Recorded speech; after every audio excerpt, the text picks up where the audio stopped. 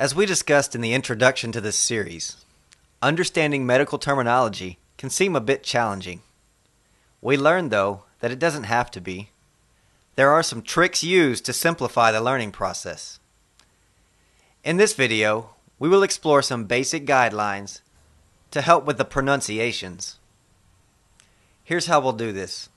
First, we'll cover the list of specific consonant vowel combinations and their sounds, and then give an example. Once that's covered, we'll run through a short list of examples for you to try out yourself. So, let's get started. Anytime you see the letter C before the vowels A, O, or U, it makes the K sound.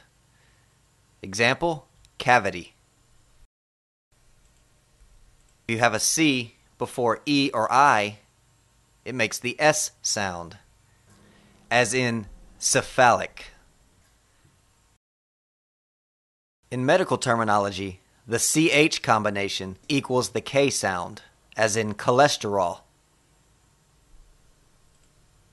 A G before A, O, or U is the hard G sound, like gallstone. If you have a G before E or I, that gives you the J sound. An example, generic. pH combination equals F, as in phase. PN sounds like N or pneumonia. PS equals S, as in psychology. The PT combination equals the T sound, ptosis. RH or RRH will produce the R sound, such as rhythm or hemorrhoid. X, when used as the first letter of a word, equals Z, such as xerosis.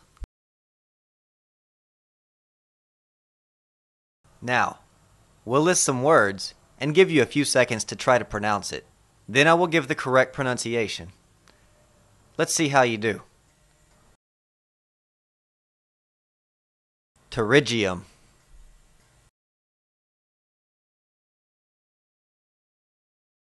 Xeroderma.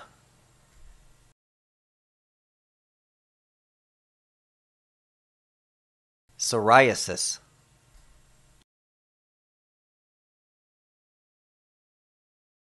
Geriatric.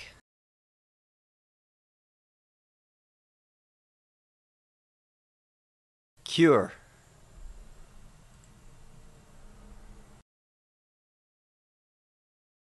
Physical.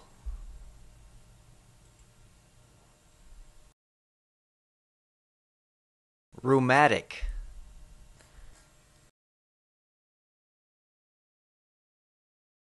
Pneumothorax.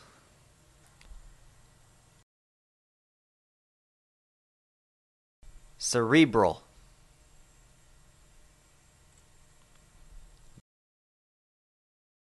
Gurney. Learning these simple rules will help make pronouncing medical terminology much easier on you. Study them, write them on flashcards if you have to, but memorize them, and you'll be speaking the medical language in no time.